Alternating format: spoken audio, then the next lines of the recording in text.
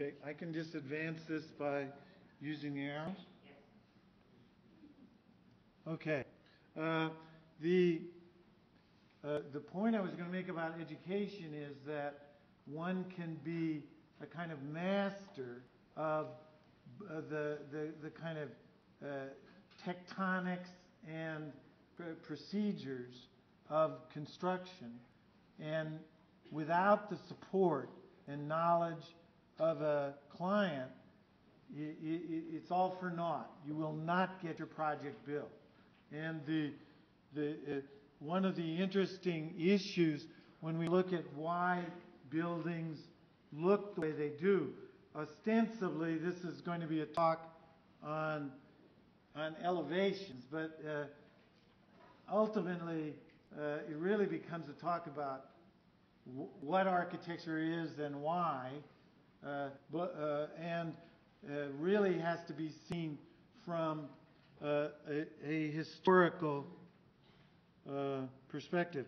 I had a, a Enrique had promised me my notes on the. Uh, okay. No, well, maybe not. But I was so impressed with uh, with the uh, the materials lectures and their reference to building, date, uh, architect in a very academic way. I wanted to. Can you get, get the? Yeah, I'm gonna try it. In any event, uh, in the end, is and has been, and, and what it's going to be in the future. And that really has to do, I think, with. Oh, great, fantastic, that's perfect. Okay, let's look at the, this first slide. Uh, when I initially, uh, I was going through and I thought, well, I'll start out by showing some relatively recent buildings and discussing their elevational treatment. And uh, so I started out and I immediately kind of became overwhelmed with the issues that would have to be discussed. Uh, this is a building by Nicholas Grimshaw in, in Spain, La Cortuna, uh, and it's, uh, it's an office building, and it exists between, uh, between, for me, a kind of interesting uh, set of existing buildings that really encompass uh, a significant amount of time in the history of office building. Uh, uh, and what I uh, was hoping to do in the lecture today is maybe pick, pick up on points and issues that were covered in previous lectures and kind of try and relate them to a, uh, a, a discussion of, of elevational treatment and the kind of process of, of generating elevation. And one of the things that I confronted almost instantly was the, the change. And, uh, I don't know uh, uh, if you remember uh, the discussion about the kind of neoclassical building uh, where you had this kind of heavy, massive building. Uh, well, for much of architectural history, the buildings have been predominantly structure and predominantly mass, mass, uh, and uh, according to uh, Gregory Turner in construction economics and building design, the uh, actually historically one could count on up to 80% of the building being related to the basic structure. So you had big, heavy, massive buildings, little punched holes, and uh, then there was a kind of transformation that occurred uh, that had to do with uh, both the uh, opportunities of technology and new materials. And the result of this was that, at least in, and I'm not sure whether these exact percentages are, are correct, but there's this dramatic reduction in the building envelope which historically was building envelope structure, and a corresponding huge increase in the mechanical services, the uh, HVAC component of the building. Now, this is important for several reasons. One of which is that the, the building itself, the kind of building envelope, going back to our, our first example, becomes very, very light relative to the earlier massive punched building like the building perhaps on the end of the street. Uh, uh, secondly, the, uh, the dominant uh, economic dri- driving for the building is actually in mechanical activity, therefore in energy use. So uh, there's been a huge shift, and buildings have become huge ener- energy consuming objects, and that has consequences for our environment, for sustainability, et cetera, et cetera. Uh, so let's, let's take a look at the examples we've had from our earlier distinguished faculty. Uh, so, uh, Greene and Greene, Craftsman House, a kind of romantic referential uh, testimony to craftsmanship in, of the old school.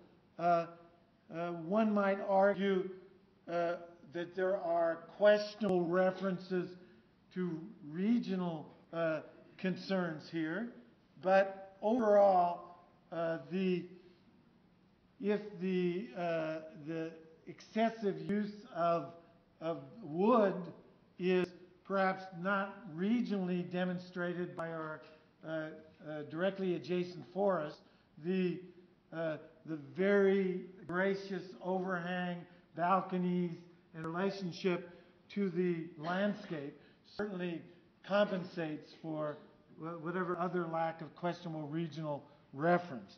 In any event, uh, this has become a compelling uh, uh, and popular image for general society. And to, today, there's a component of kind of craftsman wannabeism in, uh, in residential architecture that persists uh, to this day.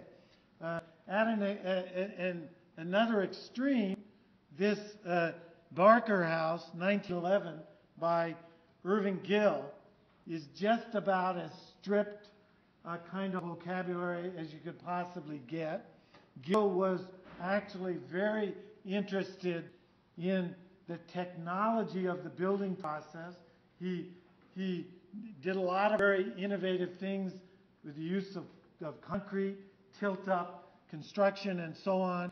And this kind of stripped lack of ornamentation was part of a very general move in architecture to, uh, to create a kind of new epic, a new, a new uh, attitude toward architecture as, the, as a representation of the opportunities of technology to, to create an environment which was, uh, which was an, a, a, continuing improvement in status for uh, uh, the environment. Uh, you you uh, are all familiar with the Lovell House. Uh, this called the Health House because I guess of all the different levels and having to run up and down. But Lovell was actually a, a, health freak. He had weights and all kinds of things and was very enthusiastic about exercise. But the, uh, there's a curious juxtaposition here between a kind of structural bravado in the frame. It's a, you can see the, the steel frame and the abstraction of the exterior skin into stucco and glass, which was a characteristic, certainly, of the kind of heroic modernist movement uh, uh, uh, representation of that period. Uh, this is the uh, case study 8 house by Ray and Charles Eames, done in 1949, uh, moving very quickly forward. But although there, I, I don't think anyone would quibble about this being a, a contemporary or modern modernist house, uh, the attitude is is quite different than the earlier Lovell uh, house, and uh, the elements had to, uh, were taken off the shelf, uh, prefabricated elements off the shelf. It was assembled very quickly uh, with pre-cut, pre-drilled steel and prefabricated uh, doors, uh, windows, and panels. Uh, this, this house had a tremendous influence, architectural influence, and uh, has a kind of curious dichotomy because uh, it's referred to all the time, but many of the fundamental uh, philosophical commitments made by this house for prefabrication as a way of actually providing more economical, lower cost housing uh, have never really been realized.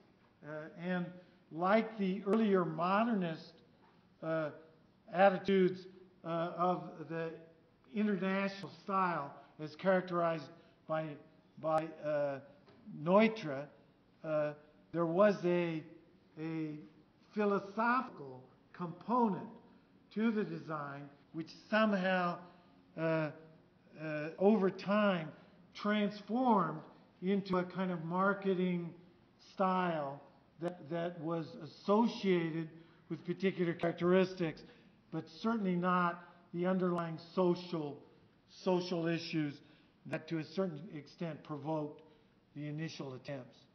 Uh, you're all familiar with uh, early Frank Gehry. This is the Ron Davis Studio, 1972, uh, which is uh, a kind of tweaked box with very simple punched uh, opening uh, gla- glazing in a very, very abstracted elevation, uh, very a, a simple material materiality, and much of the design, again, uh, characteristically uh, uh, achieved through slight adjustments to the conventional form. So you have a conventional shed building, and if you're familiar with the plan, the plan just kind of tweaked the building out or crank the wall slightly. This kind of tendency obviously became much more exas- uh, exasperated later later on.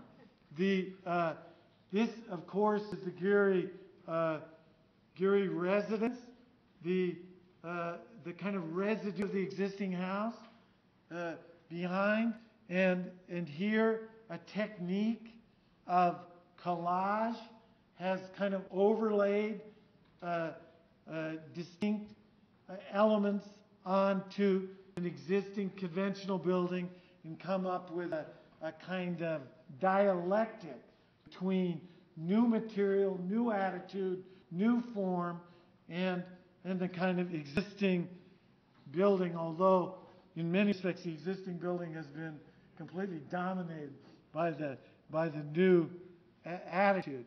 What's particularly interesting about the rear elevation is that there is a, a kind of conventional set of openings, which is then exposed in a ostensibly unfinished back.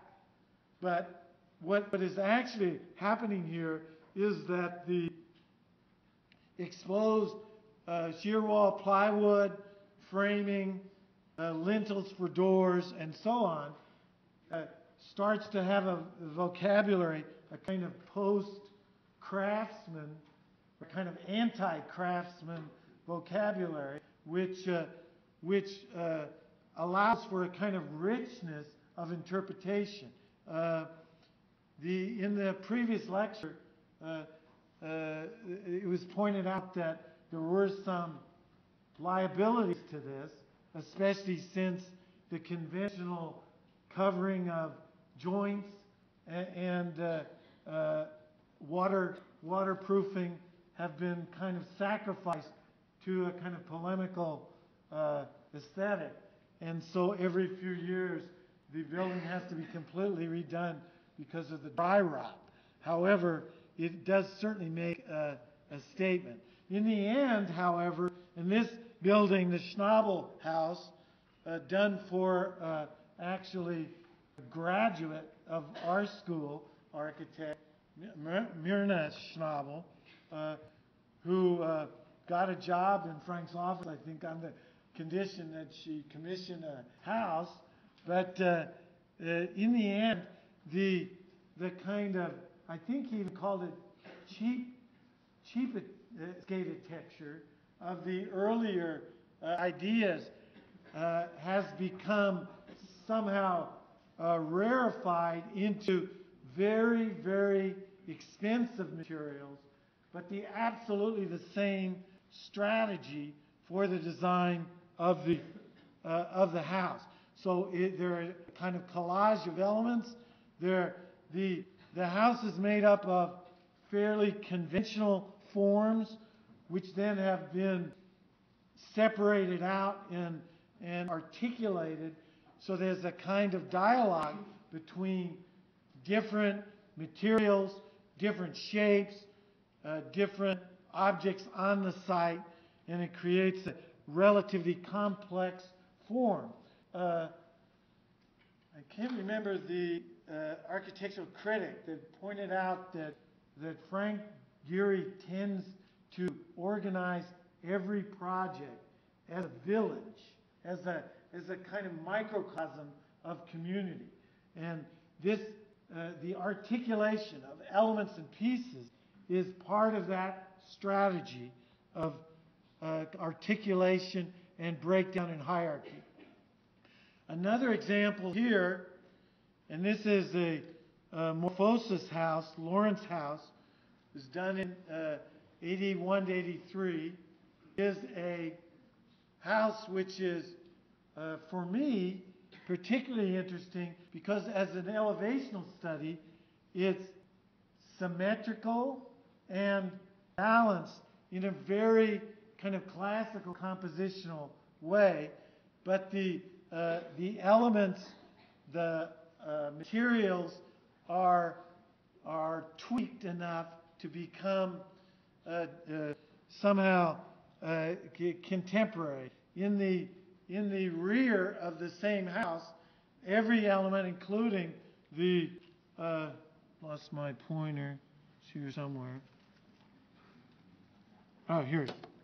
Uh, every element, including the uh, meter, has become recruited into a uh, incredibly formal organization of elements and elevated to a, a kind of elegance that one would certainly not not attribute to those, those particular things. So you've got vernacular lights, uh, uh, meter uh, vents, uh, electrical outlets in this kind of uh, uh, incredibly formal organization. Here another another project of that period during 83 to 85.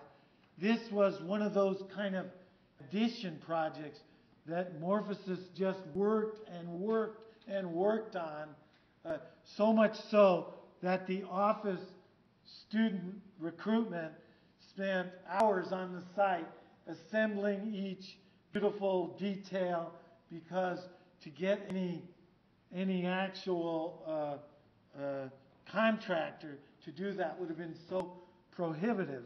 But this brings up a, a general issue eh, the relationship between the kind of idea about the project and the design and a kind of understanding of what is available i- i- as a resource to build.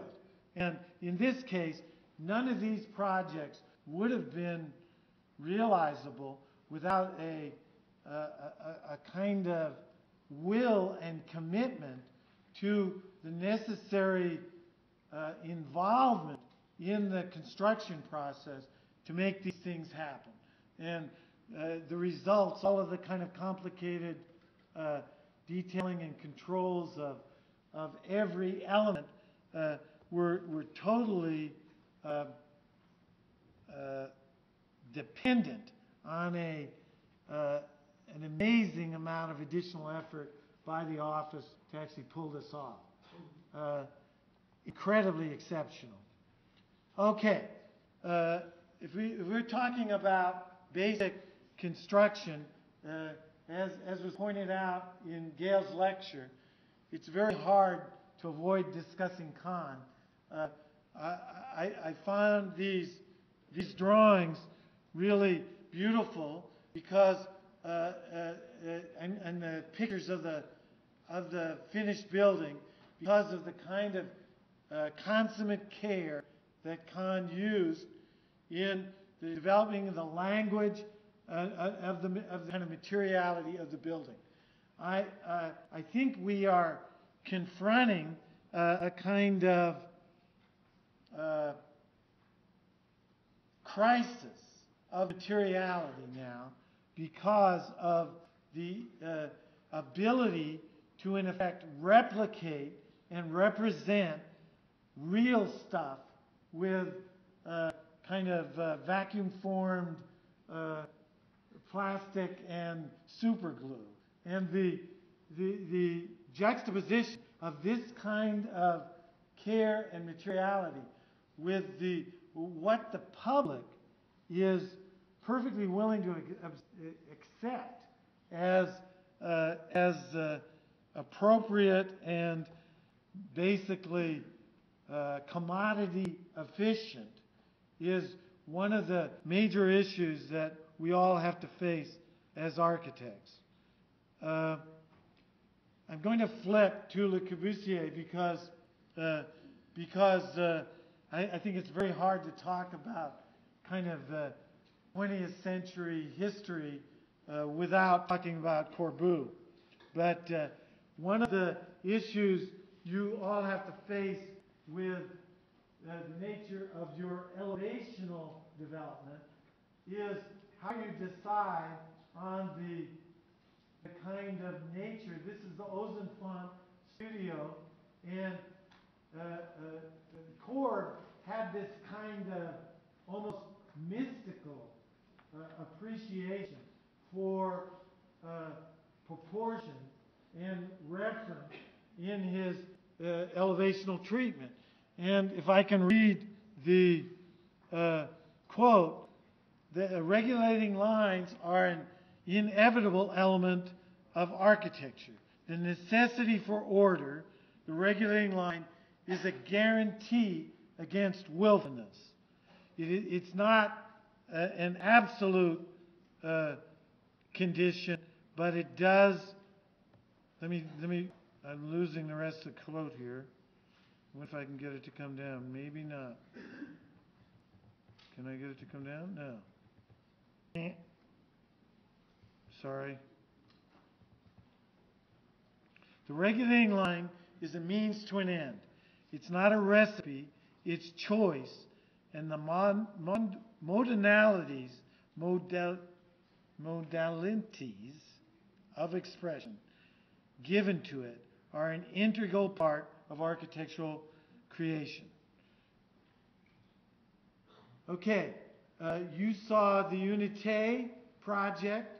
Uh, one of the interesting components of uh, this kind of development of modern architecture was a, a, a kind of commitment to a kind of urban design component to every project. So every project at a certain point also became con- connected to an idea about urban development. I don't know whether you guys, I, I couldn't find the drawing I wanted to show, but a kind of drawing of core showing like 20 unités uh, lined up in the park as, a, as an idea about a new fabric, urban fabric, based on a different scale. And these are kind of like uh, uh, cruise ships in a new urban landscape. Uh, second idea was this idea about the kind of insertion element, which was a reoccurring idea that Le Corbusier had, uh, going back to uh, kind of Immeubles Villas and other projects that were done in the 20s. Uh, the elevational treatment, uh, our discussion of this had to do with a shift in uh, Le Corbusier's work uh, from a kind of abstraction, the kind of Ozenfant uh, stucco facade, to the kind of tactile, concrete, plastic expression uh, of the post-war uh, uh, time. The, uh, this project, which was from like 47, 52, uh, was at a time when there were not many options available to uh, for construction, and Le Corbusier kind of eagerly grasped the use of, of, concrete, which uh, always historically held out great potential for the modern movement, but uh, was not actually used very often, in, in fact, because of uh, economic constraints. So uh, when uh, Le Corbusier was forced to Uh, uh, forced to uh, design in exposed concrete, he he readily accepted that and in, enthusiastically reject. Okay. Well, this kind of discussion of primary, I don't know. I hope I'm not losing everything. Well, we lost. I have to ask you to imagine this is the Heidi Weber Pavilion. Doesn't quite come off. Let's go on. Okay. Uh, kind of one of the issues that is is uh, in our face today is the relationship between new technologies and their potential and, and kind of architectural uh, expression and the, uh, and the appropriateness of, of, that expression.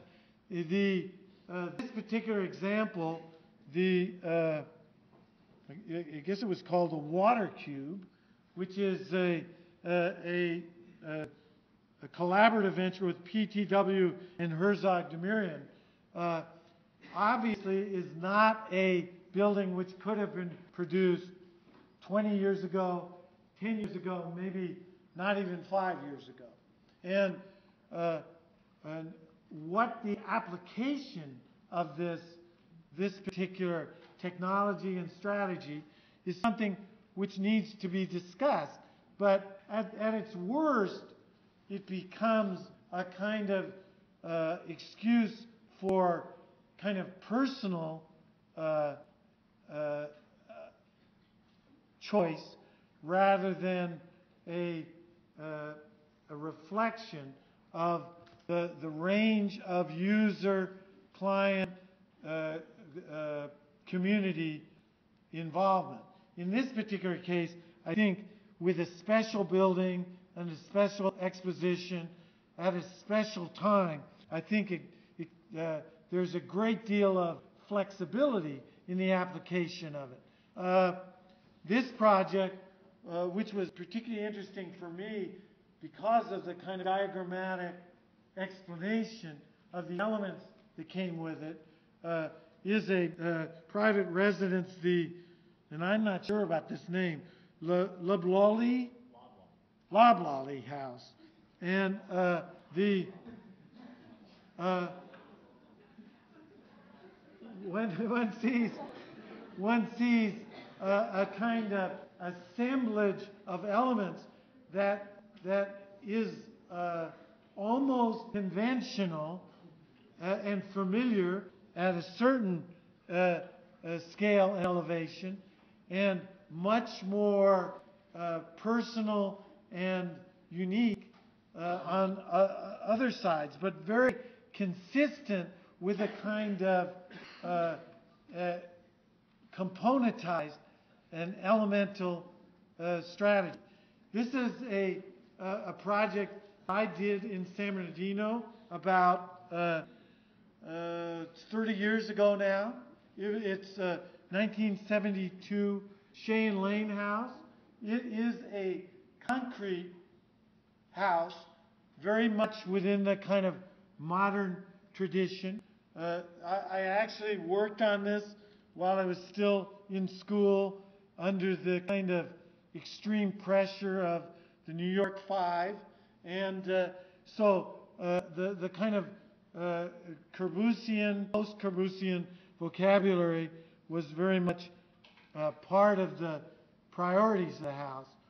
The, uh, the, the materiality of the house came from the client uh, being a concrete contractor and very willing to build in concrete, and my own uh, feeling that there was a kind of uh, uh local integrity to the, uh, uh, the use of concrete in this situation. The house is at the edge of the San Bernardino National Forest. every 10 years, there's a forest fire kind of crashing through. The idea of having a, a essentially fireproof residential project uh, was also uh, fairly uh, attractive.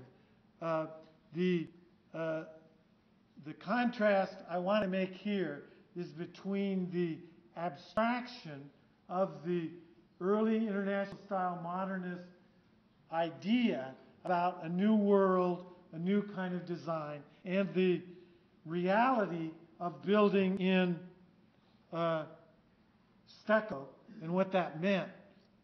At the time, this is uh, the Saltzman House, 1967. I was in school, and Richard Meier was coming down to, to criticize the studio uh, on the train. This particular house uh, was built with plywood panels which were taped. So any uh, and the whole intention was to create this kind of abstract sculptural object, but the reality was there was a disconnect between the the uh, the performance of the house and the kind of conceptualization of the house.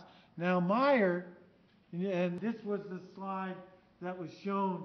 What was the uh, category you you placed this in? Uh, material indifference or material indifference? Well, I would argue actually that Meier kind of learned his material lesson.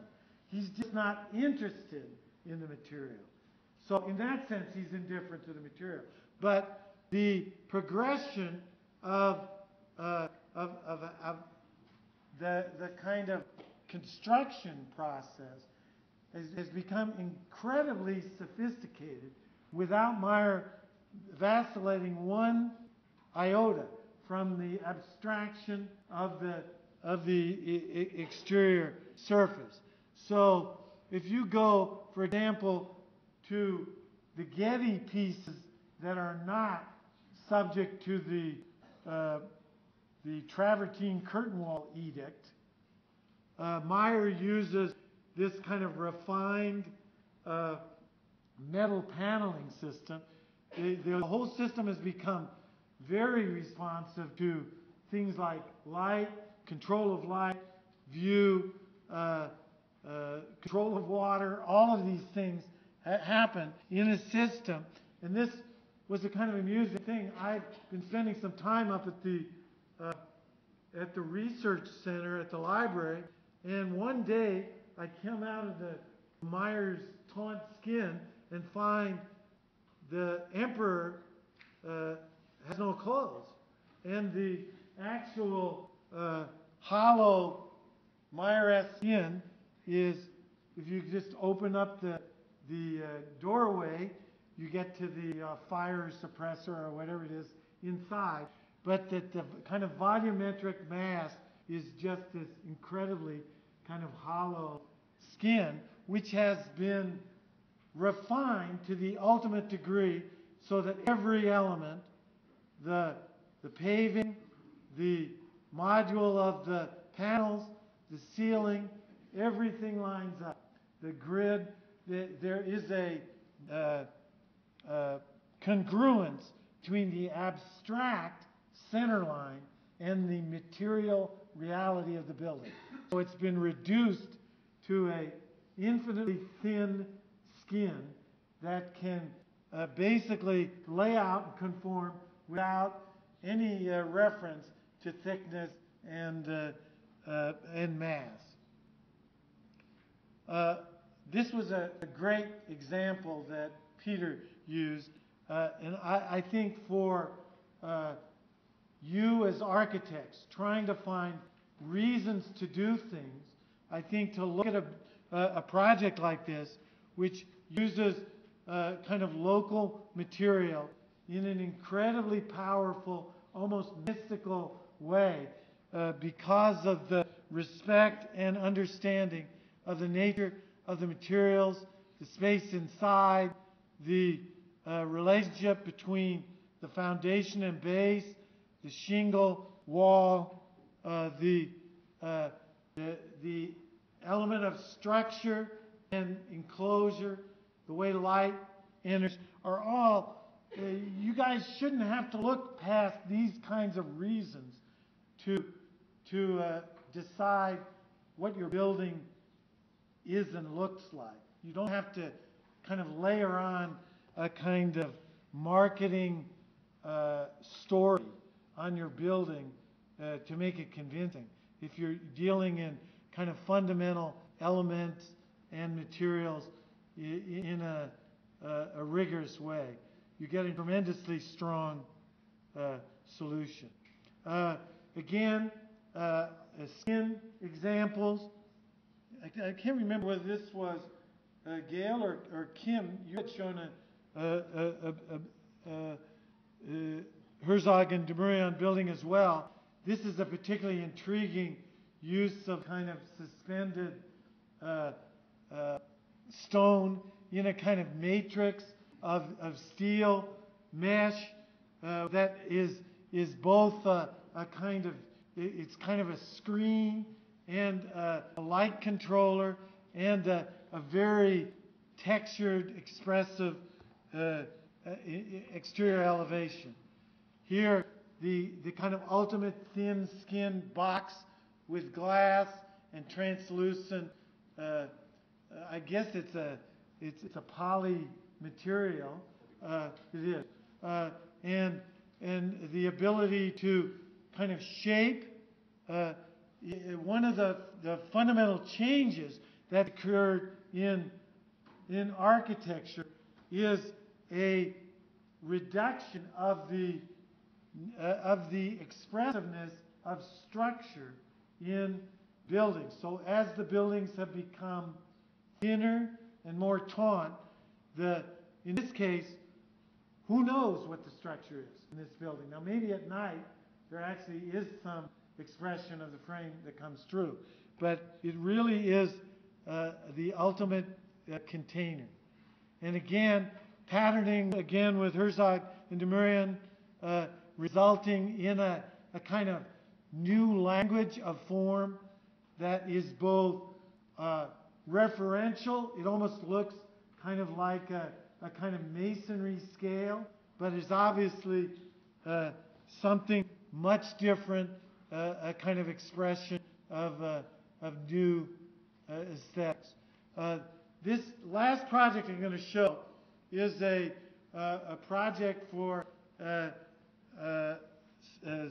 Sunset Boulevard. It's a multi-use building. I had promised my uh, students, I would show them a, a four to six story uh, multi-use building with kind of retail, commercial, and residential uses. Uh, and I, I'm just going to go through it very quickly. The uh, intention here is not to describe the project in detail, but to talk a little bit about why the building ended up looking the way it does. The uh, so first of all, we're going to start out with what I would refer to not as diagrams, but a series of presentation drawings that were made uh, as part of schematic design, where I uh, attempted to show the building in its site at the edge of the Hollywood Hills on Sunset Strip with uh, a kind of uh, very dramatic views out over the city and a kind of hillside development going up and back. The building uh, uh, had a uh, commercial and residential strip building on the street and uh, residential, uh, basically single family houses on two lots at the rear of the property. Uh, the I want you to keep in mind that there's a kind of repetitive, incremental quality to the organization of the plan, and the uh, and the uh, you can see from the the plan that there uh, is a kind of articulation of service and structure that pervades the organization of the building. In section, the building uh, has a relationship to the street, which was determined by a subterranean parking, which steps up the site. Actually had to overlap because the depth wasn't enough to get uh, regular parking. A, a kind of street slab building with retail on two levels on the street elevation and residential units above, which were designed with a skip stop circulation so that the elements could wrap and always have every unit has access to the view, uh, the view uh, out in the valley, which is basically the money shot for the project. Uh, where uh, Holland, the street, comes up, the entryway exists as a break between the uh, the uh, residential and retail elements with kind of sky lobbies on the first, third, fifth floor, and a kind of penetration which provides a kind of urban connection up through into the courtyard and then finally up to the residential behind. The eleva- this is a kind of uh, elevational drawing which attempts to relate the whole building envelope in a, a kind of rigorous dimensional way so the, the side conditions at the property line where the four hour wall condition exists, the, the street elevation on Sunset with a kind of structural frame, which is a kind of double bay, articulated bay, with a slot for the circulation through the building vertical circulation and circulation back, and a kind of layering, a double scale, and then single floors, one, two, three, four, five, six stories. Studies of the elevation in the beginning, we're kind of trying to grapple with uh, structural requirements, requirements of entry, how that could be handled, how do you get the kind of maximum development on the site and break the scale down. This kind of idea about expressing the structure. Does the structure uh, come through with a kind of uh, variation in the grid at the entryways? Is there a kind of regularized grid? This has got kind of A, B, C, B, A, whatever. And how do you find a way to rationalize that into some overall compositional idea. You see here where it's starting to evolve into a kind of repetitive big bay with a small bay condition and this multi-story uh, double height uh, structure. Now, I, the, everybody in my studio will recognize this kind of drawing where one looks carefully at the section, how that works, and tries to relate that compositionally to what happens with the uh, elevation, study models to kind of test that out, uh, perspective views uh, to test it, uh, then the final building uh, developing with a level of materiality expressed, whether it's the concrete block, the tile, which goes over the light gauge steel, lightweight interior framing, uh, and the uh, the major structure of exposed uh, concrete. The final elevation has punched metal uh, uh, railings, which uh, are both volumetric and transparent to preserve the views, interior views. There are there's tile, there's uh, uh, a, a, tile uh, surfacing of the light gauge, uh, and there's uh, exposed metal in the balconies, roof, and uh, chimneys. So the, there's the kind of final three-dimensional elevation. You got the the double structure the breakdown of structure, uh, the relationship to the street. This was uh, designed at the a kind of bubble point between the creation of, uh, of the new West Hollywood city and its county uh, previous relationship. So the building became a prototype for the new zoning on Sunset Boulevard. The, this is the rear courtyard elevation. The building uh, facing north has a much different uh, elevational treatment than the, the southern exposure. And finally, the last shot shows the elements of uh, uh, the particular materiality with a kind of vocabulary of concrete, tile, metal, punch metal, painted metal uh, uh, that uh, combine for the overall vocabulary of the building. Uh, I want to uh, close with two, two final slides. One, a quote from Renzo Piano, which, if you'll forgive me, I'm going to read. I, am kind of constantly irritated by people that Uh, uh, read, read their PowerPoint presentation off the but I, I want to at least read part of this. An architect must be a craftsman. Of course, any tools will do. These days, tools might include the computer, an experimental model, and mathematics. However, it is still craftsmanship, the work of someone who does not separate the work of the mind from the work of the hand. It involves a circular process that draws you from an idea to a drawing from a drawing to an experiment, from an experiment to a construction, and from construction back again to the idea. Thank you, guys.